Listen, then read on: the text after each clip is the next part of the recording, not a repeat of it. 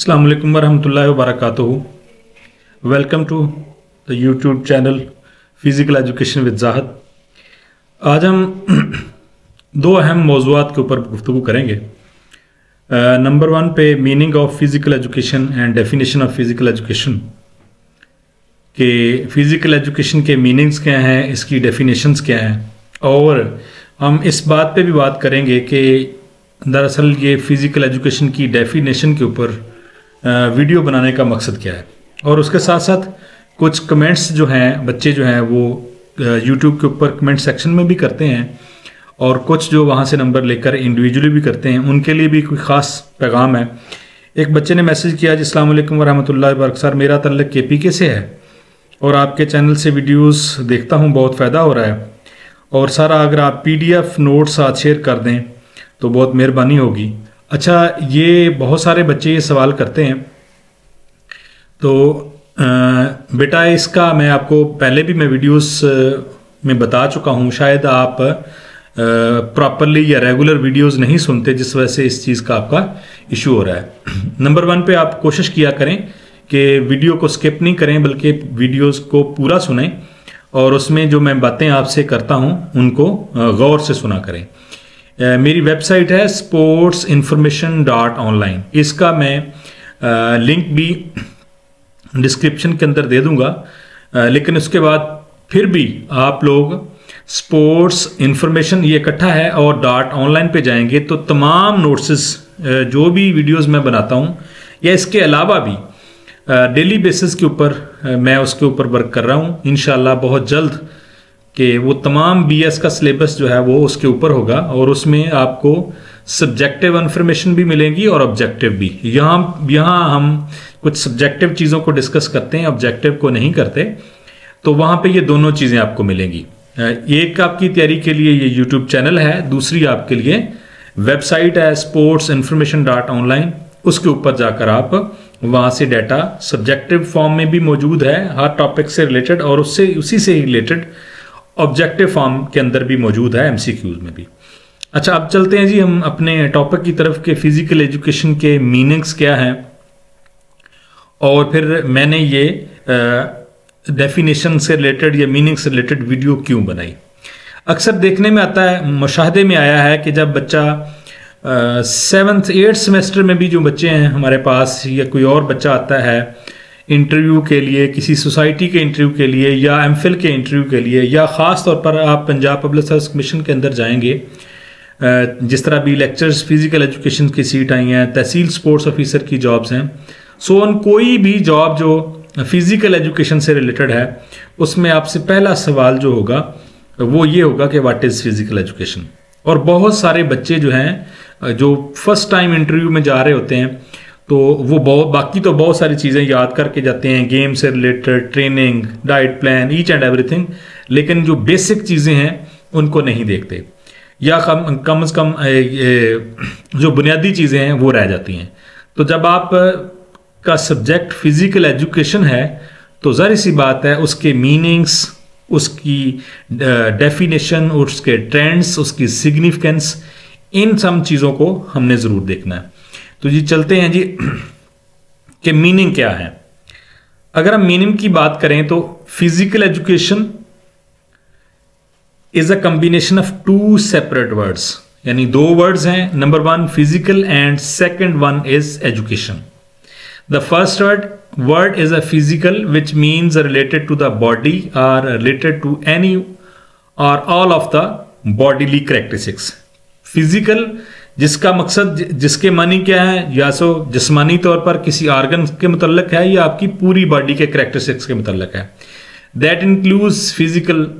strength physical endurance physical fitness physical appearance and physical health अब आपको पता होना चाहिए कि जो मीनिंग में क्या क्या चीज़ें आती हैं फ़िज़िकल स्ट्रेंथ आपकी कुवत, ताकत,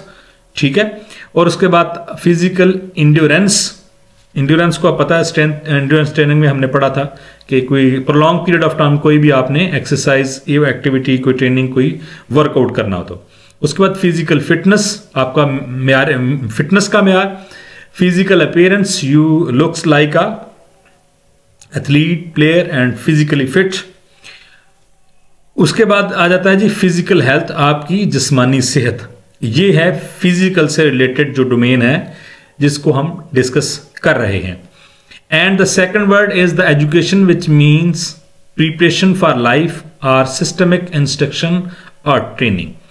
दूसरा वर्ड है एजुकेशन जिसका मानी है कि ज़िंदगी के लिए तैयारी करना या कोई सिस्टमिक इंस्ट्रक्शन देना या ट्रेनिंग वगैरह लेना। When we look at the combined meaning of these two words जब हम इनके कंबाइंड मीनिंग की तरफ़ देखते हैं we can understand that physical education is a systemic training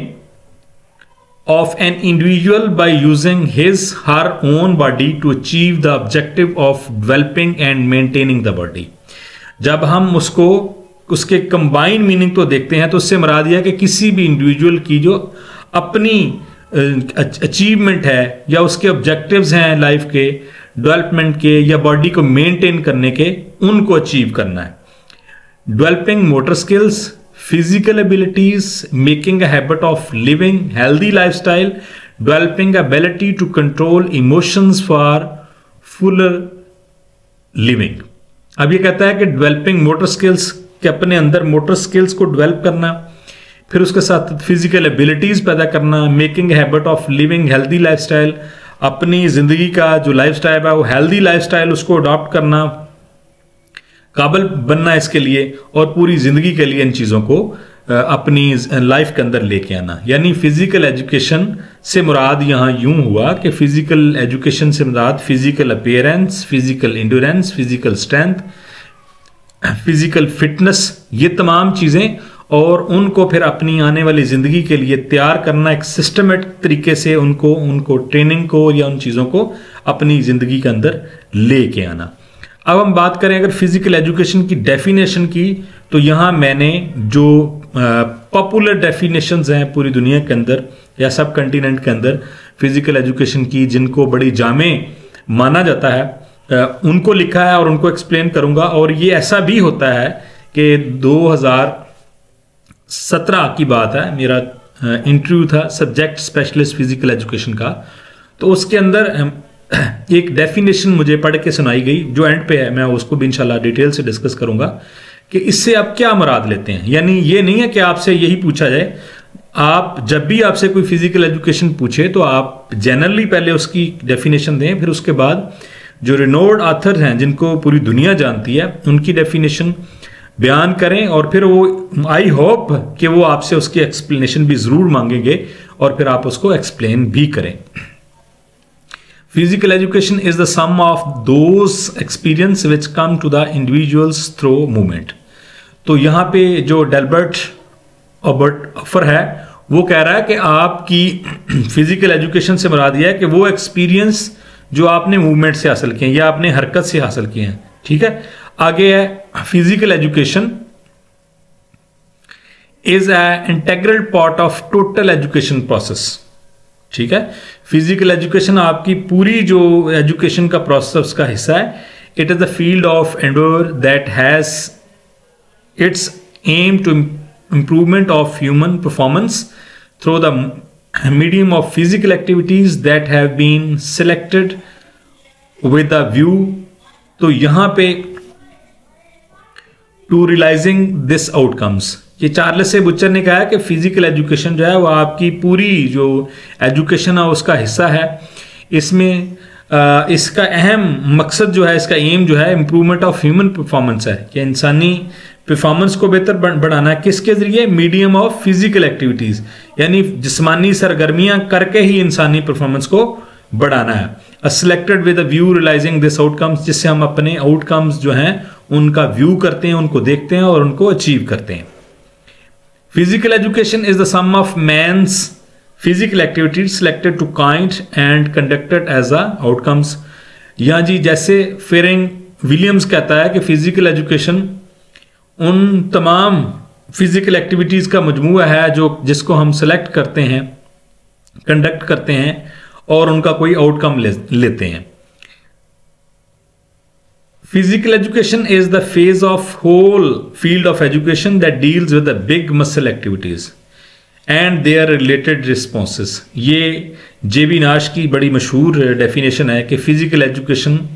तमाम फ़ील्ड ऑफ़ एजुकेशन के डील करता है और इसका ज़्यादातर जो वर्क है वो बड़े बिग मसल्स हैं और उनसे related response big muscles mean तो मसल से ही आपकी सारी की सारी मूवमेंट होती है, जो भी फ़िज़िकल एक्टिविटी है, जो भी आप वर्कआउट करते हैं, ये मसल की बुनियाद पर है। और बड़े बड़े मसल्स आपको पता है 640 प्लस जोड़े मसल्स के हैं बॉडी के अंदर और उनसे रिलेटेड रिस्पॉन्सेस से का जो मुताल है, वो फ़िज़िकल एजुकेशन कहलाता है। अगर हम सारे के, सारी चीज़ों को सम अप करें, हम इसका क्या कंक्लूजन निकालते हैं? To sum up physical education is a process of education which aims at the holistic development of individuals इसका बुनियादी मकसद किसी भी इंडिविजुअल की ओवरऑल डेवलपमेंट है। ना सिर्फ़ फिजिकली बल्कि mentally socially economically and psychologically physical activity or body movement so in a broader uh, context physical education may be defined as a teaching learning process where physical activities are used as a medium of instruction and these physical activities are designed to such a manner to improve physical fitness यानी physical education बड़ा ही broad field है जिसके अंदर जो activities हम select करते हैं टीचिंग लर्निंग प्रोसेस के लिए उनको हम एज अ मीडियम इस्तेमाल करते हैं किस काम के लिए फ़िज़िकल एक्टिविटीज़ के लिए और उसके साथ साथ improve physical fitness motor skills knowledge and sportsmanship emotional stability and healthy behaviour और इसको हम इसलिए शामिल करते हैं कि हम अपने जो भी खिलाड़ी हैं, जो एथलीट हैं, उनकी फ़िज़िकल फिटनेस को इम्प्रूव कर सकें, उनकी मोटर स्किल को बेहतर कर सकें, उनके इलम को बेहतर कर सकें, उनके अंदर स्पोर्ट्स मैनशिप स्पिरिट पैदा कर सकें, और उसके साथ साथ इमोशनल स्टेबिलिटी और हेल्दी हेल्दी बिहेवियर जो है उसको अडाप्ट कर सकें। तो ये था आज का हमारा टॉपिक फ़िज़िकल एजुकेशन के मीनिंग्स और उसकी डिफरेंट डेफिनेशन इनशाला किसी और टॉपिक के साथ आपकी खिदमत में हाजिर हूँ तब तक के लिए अल्लाह हाफिज़।